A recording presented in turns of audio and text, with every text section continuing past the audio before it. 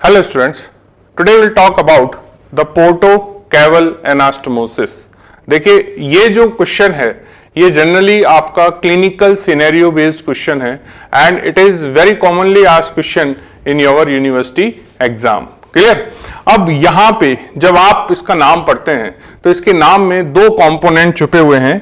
एक है porto and second is caval porto means we are talking about the tributaries of portal vein ठीक है? और जो दूसरा पार्ट है, वो है केवल। केवल मतलब we are talking about the systemic vein which are inferior vena cava and superior vena cava ठीक है? यानी हम उन पॉइंट्स की बात कर रहे हैं जहाँ पे portal vein and vena cavas का एनास्टोमोसिस होता है। Clear so what is the basic of the portocaval anastomosis कि अंडर नॉर्मल कंडीशन ठीक है the portal venous blood travels the liver and drain into the inferior vena cava via hepatic when ठीक है मतलब क्या हुआ? कि जो हमारा पोर्टल वेन है, जो कि बनता है किससे? सुपीरियर मीजेंट्रिक वेन और स्प्लिनिक वेन से। ये जो पोर्टल वेन है, ये कहाँ गई? लीवर में गई। लीवर में जाके डिवाइड हो गई किसके अंदर? राइट एंड लेफ़्ट ब्रांचेस में। यहाँ पे जो ब्लड निकल के आया, वो ब्लड हिपैटिक वेन्स के थ्रू किसमें जाता है? इंफीरियर वेना केवा में। तो ये पीछे की तरफ़ इंफीरियर वेना केवा है और इस इंफीरियर वेना केवा में जो ब्लड है, वो किसके थ्रू जा रहा है? हिपैटिक वेन्स के थ्रू जा रहा है। क्लियर सो नॉर्मली क्या होता है कि जो ब्लड पोर्टल वेन के थ्रू एंटर हुआ, वो ब्लड लीवर से वापस इंफीरियर वेना केवा में कैसे गया? With the help of hepatic vein ठीक है? So this is a normal scenario there are smaller communication present between the portal and systemic venous system and they become prominent when the direct route become blocked मतलब क्या हुआ? कि ये जो हमारा Venus system है जो कि पोर्टल वेन के थ्रू ब्लड लेके जा रहा है and reaching into the inferior vena cava अगर ये ब्लॉक हो गया suppose if it will get blocked अब ब्लड कैसे जाएगा? अब ये जो ब्लड है, वो इंफीरियर वेना केवा तक पहुंचेगा with the help of the tributaries और वो जो ट्रिब्यूटरीज हैं, वहाँ पे हमें मिलते हैं कम्युनिकेशन और वो कम्युनिकेशन किस किस के बीच में है? पोर्टल वेन की ट्रिब्यूटरी और सिस्टेमिक वेन यानी सुपीरियर इंफीरियर वेना केवा की ट्रिब्यूटरीज के बीच में होते हैं। ठीक है? और वो जो कनेक्शंस हैं, वो जो एनास्टोमोटिंग साइट्स हैं, उनके थ्रू ब्लड सिस्टेमिक सर्कुलेशन में जाने लग जाता है। ठीक है? Now this is the very important line which you have to keep in mind that ये जो वीनस सिस्टम है, कौन सा वाला? पोर्टल वीनस सिस्टम या पोर्टल वेन और उसकी ट्रिब्यूटरीज उनमें वाल्व नहीं होते हैं।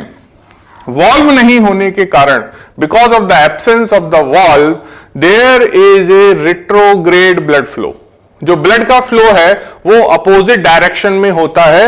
If the pressure is become high in this area then the blood will go into the reverse direction into the tributaries of portal vein why it is possible because there are no walls are present in the portal vein and its tributaries ठीक है? So so, ये line बहुत important है और और I should say it is a key line of this lecture की Porto केवल anastomosis में। हमारे को प्रॉब्लम क्यों आती है? क्लिनिकली द रीजन इज़ कि पोर्टल वेन और उसकी ट्रिब्यूटरीज में वॉल्व नहीं होते हैं। ठीक है? नाउ इस in this diagram we can see the normal sites जहाँ से ट्रिब्यूटरीज अराइज हो रही हैं। किसकी ट्रिब्यूटरीज पोर्टल वेन की। तो देखिए, ये आपकी क्या है? पोर्टल वेन है। ठीक है? ये जो पोर्टल वेन है, ये पोर्टल वेन फॉर्म हो रही है with the joining of two veins यहाँ से ये क्या आ रहा है? स्प्लेनिक वेन ठीक है? और ये क्या आ रही है? Superior mesenteric vein so superior mesenteric और स्प्लेनिक वेन मिलके क्या बनाते हैं? Portal vein apart from that you are receiving the inferior mesenteric vein ये इंफीरियर मीजेंट्रिक वेन किसमें ड्रेन होता है? स्प्लेनिक वेन में. ठीक है? अब देखिए, यहाँ पे आपको इस डायग्राम में याद रखने हैं, पोर्टल कंपोनेंट पोर्टल कंपोनेंट मतलब पोर्टल वेन की ट्रिब्यूटरीज ठीक है? जो कौन कौन सी हैं जो हमारे क्लिनिकली यूज़ आने वाली है? देखिए, पहला ये।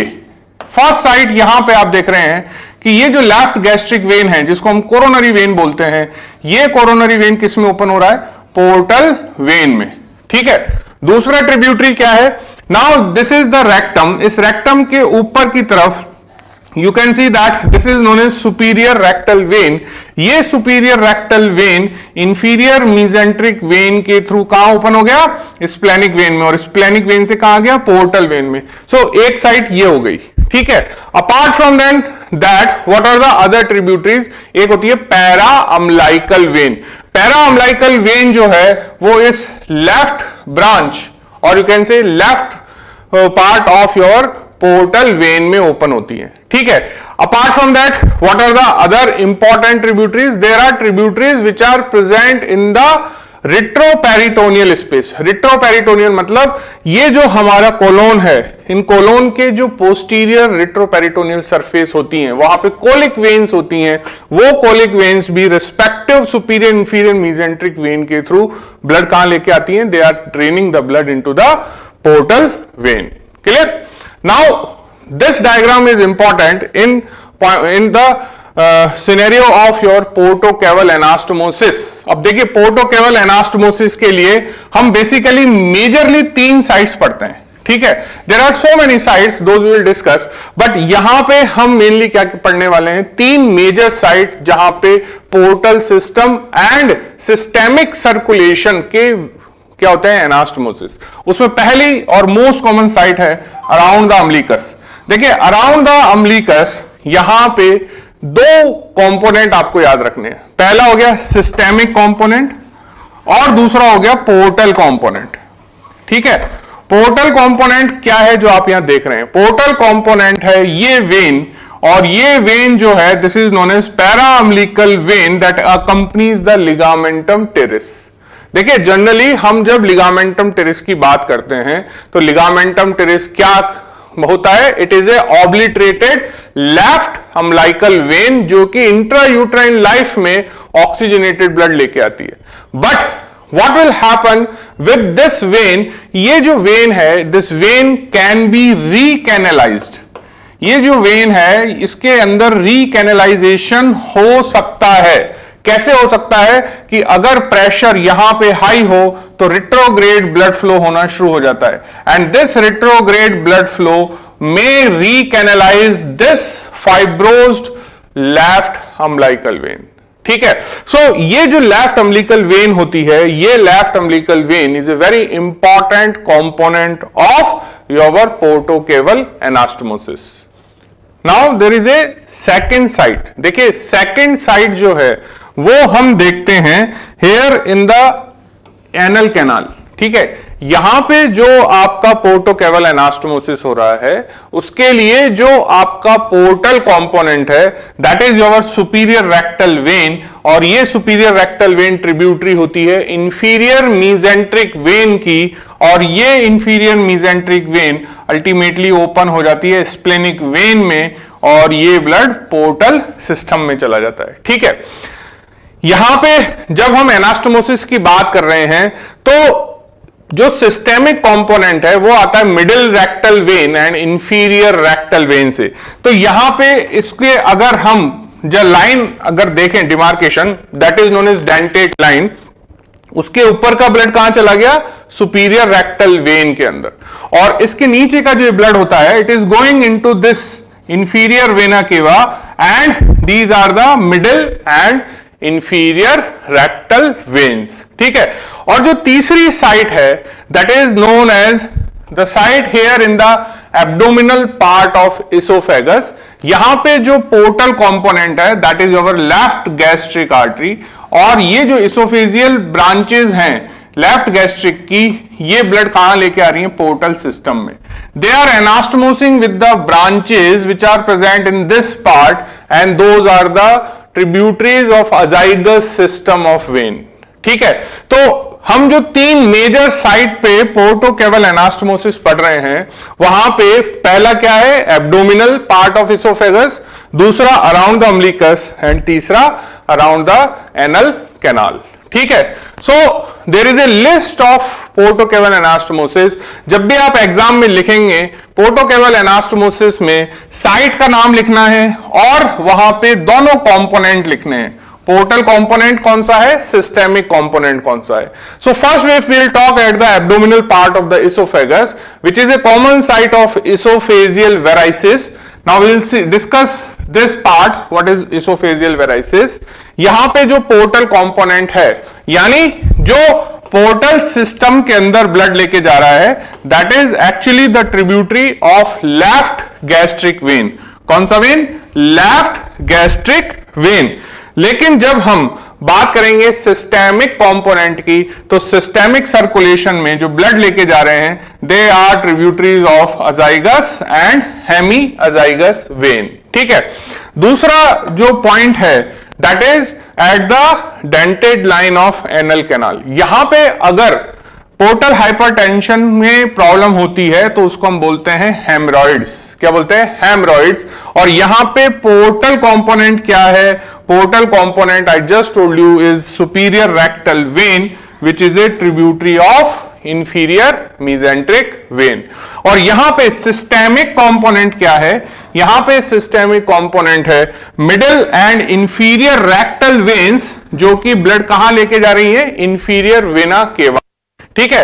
सो so, ये बात आपको समझनी है कि पोर्टो केवल में हमें दो कंपोनेंट हर जगह देखने हैं कि पोर्टल कंपोनेंट क्या है एंड सिस्टेमिक यानी केवल कंपोनेंट जो सुपीरियर या इंफीरियर वेना केवा का ब्लड लेके जा रहे हैं। ठीक है?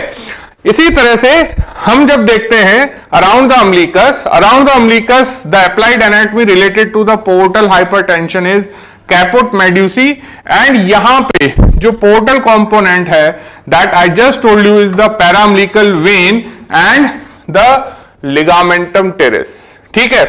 सिस्टेमिक कंपोनेंट क्या है यहाँ पे? अम्लिकस के अराउंड हमारे पास वेन्स होती हैं which are known as thoracoepigastric vein and superficial epigastric vein ये जो वेन्स हैं they are draining into the superior and inferior vena cava clear so यहाँ पे हमारे पास तीन मेजर जो साइट्स हैं पोर्टोकेवल एनास्टोमोसिस की, ये तो आपको याद रखनी ही है and you have to write down in this formation where you should clearly mention the portal component and systemic component at each of these three sites ठीक है? बिकॉज़ इन तीनों साइट्स पे तीन अप्लाइड एनाटमी है. First is oesophageal varices second is haemorrhoids and third is caput medusae ठीक है? Apart from these three sites what are the other sites of portocaval anastomosis one is in the bare area of liver देखिए bare area क्या होता है? Bear area वो area है जहाँ पे लीवर डायफ्राम के साथ फॉर्मली एडरेंट है और उस एरिया में पेरिटोनियम नहीं होता है which is area between the coronary ligaments of liver ठीक है? इस एरिया में जो पोर्टल कंपोनेंट है, ये पोर्टल कंपोनेंट आता है सेंट्रल वेन से। किससे आता है? सेंट्रल वेन से। और जो सिस्टेमिक कंपोनेंट है वो आता है इंटरकोस्टल एंड डायफ्रैगमेटिक वेन्स और फ्रेनिक वेन से। ठीक है? तो ये वाला जो ब्लड है ये सेंट्रल वेन से कहाँ जा रहा है? पोर्टल वेन में। और सिस्टेमिक सर्कुलेशन का जो ब्लड है वो कहाँ जा रहा है? इंटरकोस्टल एंड फ्रेनिक वेन्स के through clear the side, another site is in the bare area of the colon on posterior abdominal wall. These are the retroperitoneal site of portocaval anastomosis. Retroperitoneal इसलिए बोला क्योंकि हम बात कर रहे हैं behind the ascending and descending colon particularly जहाँ पे हम पोस्ट्री एबडोमिनल वॉल और you can say retroperitoneal space की बात कर रहे हैं। इस एरिया में जो पोर्टल कंपोनेंट है, वो है veins of the colon and duodenum ठीक है? जो कोलोन की वेन्स हैं, वो कहाँ जाएँगी? सुपीरियर मिजेंट्रिक वेन में या इंफीरियर मिजेंट्रिक वेन में? तो वो किसका पार्ट हो गया? पोर्टल सर्कुलेशन का। लेकिन साथ ही में यहाँ पे सिस्टेमिक कंपोनेंट जो मिल रहा है it is mainly in the form of veins of the kidney ठीक है? वेन्स ऑफ़ किडनी और किडनी की जो वेन्स हैं, वो ब्लड कहाँ लेके जाएँगी? डायरेक्ट इंफीरियर वेना केवा में। ठीक है? इसी तरह से you have one more site ये साइट तभी होगी जब डक्टस डक्टस वीनोसस परसिस्ट करेगा। देखिए डक्टस वीनोसस को जब आप देखोगे तो डक्टस वीनोसस है क्या? Ductus venosus is a part which connects the inferior vena cava and left branch of your portal vein portal vein और इंफीरियर वेना केवा के बीच का जो ये कनेक्शन है ये कनेक्शन कहलाता है डक्टस वीनोसस तो ये क्या हो गया? This is your systemic circulation और you can say caval component और ये क्या है? पोर्टल कंपोनेंट ठीक है? सो so, ये जो कनेक्शन है ये कनेक्शन क्या हो गया? पोर्टो केवल एनास्टोमोसिस ठीक है?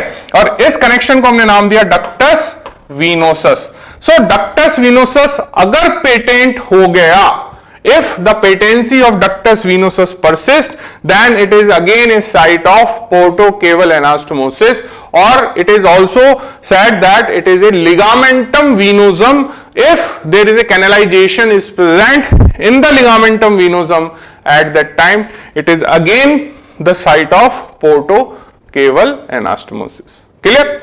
So now हमने क्या देखा कि पोर्टो केवल एनास्टमोसिस बहुत सारी जगह होता है, लेकिन ये जो तीन पर्टिकुलर जगह हैं, इस पे ही सबसे ज़्यादा क्लिनिकल सिनेरियो बेस्ड क्वेश्चंस हमारे को पूछे जाते हैं।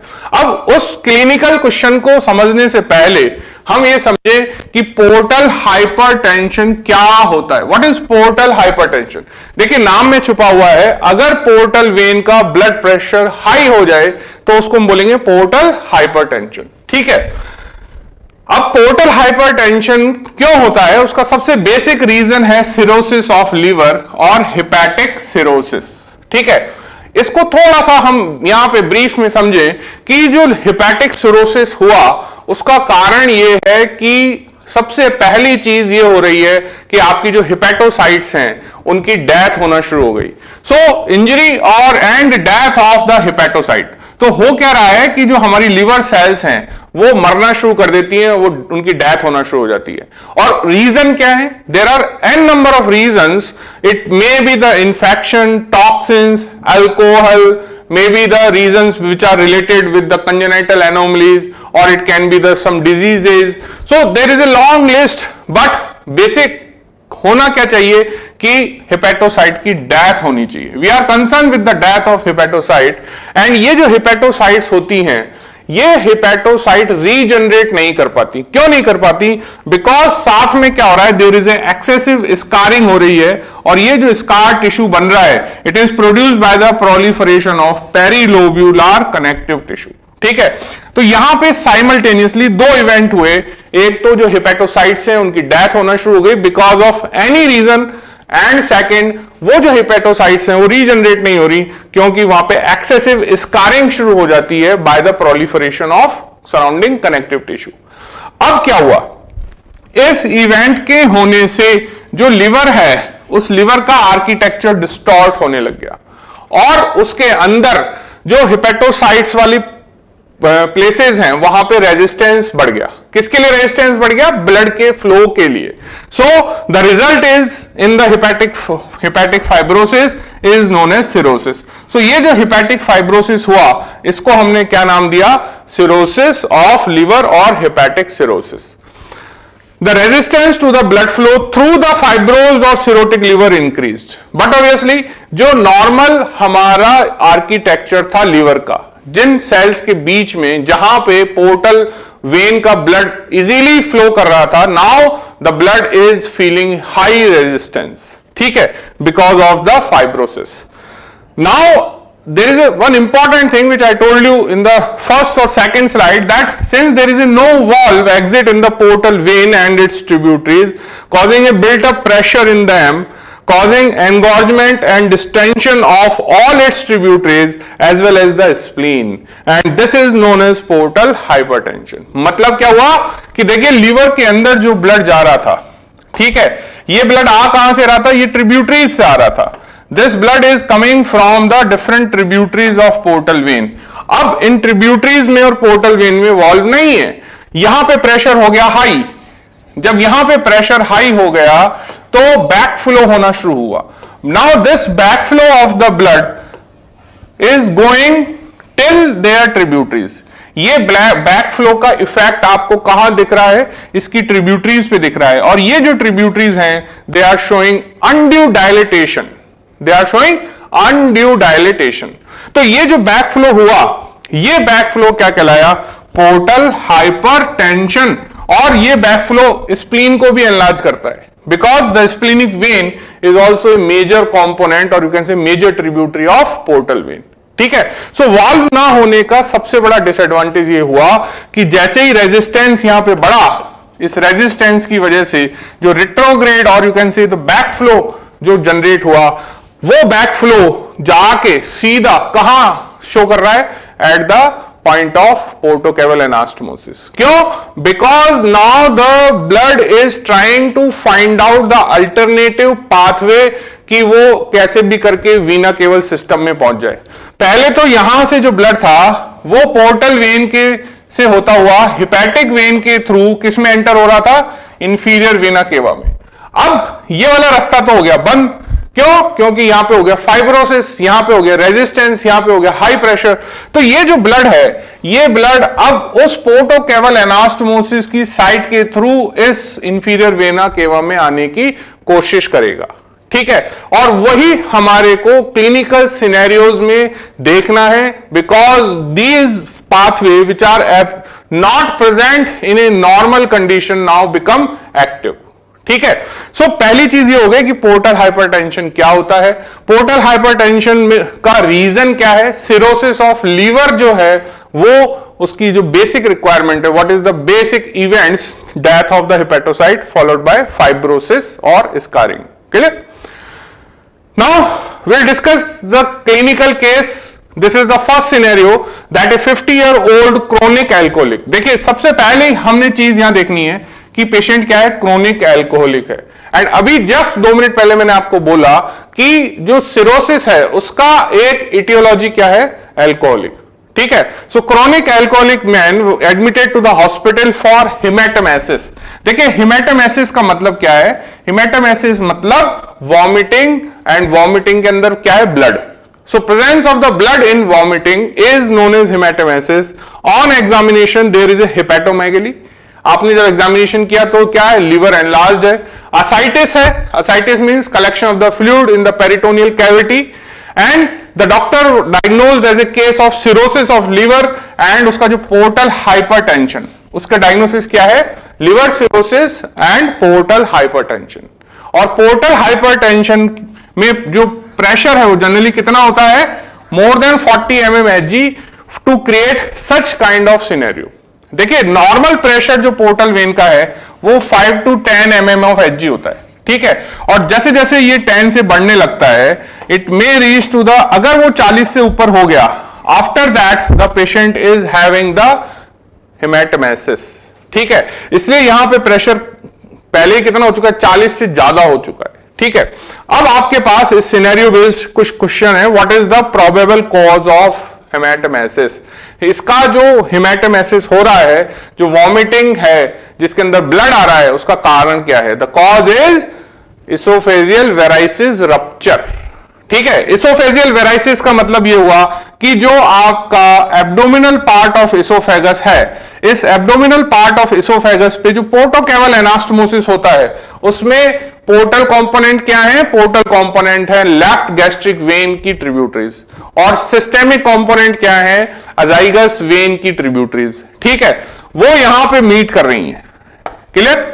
अब क्या हुआ कि पोर्टल वेन के अंदर हो गया ऑब्स्ट्रक्शन एंड हो गया हाइपरटेंशन हाइपरटेंशन से जो बैक प्रेशर क्रिएट हुआ, उस बैक प्रेशर की वजह से यहाँ पे हो गया डायलिटेशन ऑफ़ ट्रिब्यूटरीज एंड ये जो डायलिटेशन ऑफ़ ट्रिब्यूटरीज हुआ ये क्या हो गया? इनमें अब हो गया रप्चर रप्चर होने की वजह से now the patient is having the presence of blood in his vomit that is known as hematemesis ठीक है? अब ये जो ब्लीडिंग है, ये स्टॉप क्यों नहीं होती? Why there is a continuous hematemesis because liver के इन्वॉल्वमेंट से क्लॉटिंग फैक्टर्स का बनना भी कहीं ना कहीं अफेक्ट हो जाता है. तो जो प्रोटीन्स ब्लड क्लॉट करने के लिए ज़रूरी हैं, वो भी नहीं बन पा रही हैं and there is a continuous bleeding occurs from these ruptured varices और oesophageal varices and that is the very dangerous sign clear The second question is what is the anatomical basis of the disease or what are the another way to ask correlate between the liver cirrhosis and hematemesis. So इसका anatomical basis क्या है इसका anatomical basis ये है जो अभी मैंने बताया कि सिरोसिस की वजह से क्यों आपका वेराइसिस होता है? क्यों हिमेटोमेसिस हुआ? तो यहाँ पे ये एनाटॉमिकल बेसिस आपको लिखना है। This is the answer in this slide कि एक्चुअली सिरोसिस होने से हुआ क्या? कि सिरोसिस होने से पोर्टल हाइपरटेंशन हुआ। और सिरोसिस में पोर्टल हाइपरटेंशन क्यों होता है? बिकॉज़ हेपेटोसाइट्स की डेथ होती है स्कारिंग होता है रेजिस्टेंस बढ़ जाता है and because of the absence of the valve in the tributaries there is a back flow और retrograde flow and ultimately there is a rupture of those variceal areas and it will lead to the hematemesis clear now the third question is which veins are involve in this case so इस case में दो veins involve हो रही हैं। First is the tributaries of left gastric vein and second is tributaries of azygos system ठीक है? So this is the one scenario which you may have in exam कि यहाँ पे क्वेश्चन और भी हो सकते हैं। फॉर एग्ज़ाम्पल क्वेश्चन क्या हो सकता है कि what is the anatomy of involve vein अब इन्वॉल्व वेन कौन सी है? जो मेजर वेन है दैट इज़ पोर्टल वेन तो वहाँ पे आपको एनाटमी लिखनी है पोर्टल वेन की। ठीक है? So there may be more question but this is something the clinical scenario which give you the idea how to attempt the question in exam ठीक है? Now let's see one more question now a 50 year old man with chronic alcoholic देखो, यहाँ भी चीज़ same है, ये person भी क्या है? क्रोनिक एल्कोहलिक है। Was admitted to the hospital for hematemesis इसको भी क्या हो रहा है? वॉमिटिंग वॉमिटिंग में क्या है? Blood that means hematemesis on examination there is a hepatomegaly and ascites he was diagnosed a case of cirrhosis of liver with portal hypertension more than 40 mm hg तो यहाँ तक तो जो क्वेश्चन है वो सेम है. But now one more line is added the doctor notice dilated tortuous vein around the umbilicus now there is a one more condition which has been notice by the doctor कि उसका जो anterior abdominal wall है उस anterior abdominal wall पे umbilicus के चारों ओर ही was able to see such kind of dilated veins clear so what is the anatomical basis of haematemesis the answer will remain same because of the cirrhosis there is a portal hypertension there is a backflow so walls are not present it will lead to the dilatation and ultimately there is a rupture of varices Now, why were the veins around umbilicus dilated? And what is the condition called? So, ये condition को क्या बोलते हैं हम caput medusae. What is that? Caput medusae. And why were the veins around the umbilicus dilated? ये जो veins हैं ये डायलेट क्यों हुई हैं अगेन द आंसर इज़ कि जो पोर्टल सिस्टम है वो ब्लॉक हो चुका है अब जो ब्लड है जो पोर्टल वेन के थ्रू कहाँ चला जाता? इंफीरियर वेना केवा में बाय द हिपैटिक वेन वो नहीं जा पा रहा है। तो ये जो पोर्टल वेन है, जिस पोर्टल वेन में ब्लॉक हो गया है, अब क्या होगा? बैक फ्लो होगा और बैक फ्लो होने की वजह से आपका जो अल्टरनेटिव कंपोनेंट है अल्टरनेटिव रास्ता जो है, वो अल्टरनेटिव रास्ता क्या है? कि ब्लड किसके थ्रू इन कम्युनिकेशंस के थ्रू इन पोर्टोकेवल एनास्टमोसिस की साइट के थ्रू सुपीरियर या इंफीरियर वेना केवा में एंटर होने की कोशिश करेगा। ठीक है? सो so, वहाँ पे जो कम्युनिकेशन हमको मिलता है around the umbilicus which we have discuss की वहाँ पे दो कंपोनेंट है सिस्टेमिक कंपोनेंट में thoracoepigastric and superficial epigastric veins हैं। एंड उसका जो पोर्टल कंपोनेंट है that is coming from the paraumbilical veins and from the ligamentum teres so so, वो जो लिगामेंटम टेरिस के अंदर ऑब्लिट्रेटेड लेफ़्ट अम्लिकल वेन थी वो रिकेनालाइज हो गई। प्लस जो पैरा अम्लिकल वेन्स हैं उनके थ्रू ब्लड कहाँ आ गया? अराउंड द अम्लिकस और वहाँ पे you have the superficial veins which are actually the component of systemic circulation ठीक है?